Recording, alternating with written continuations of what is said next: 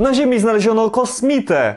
No bo serio, jak inaczej można nazwać to? Nietypowe stworzenie zaskoczyło biegającego na przedmieściach Sydney mężczyznę. Jego zdaniem to stworzenie podobne do kosmitów. Ma oko i długą słoniową trąbę.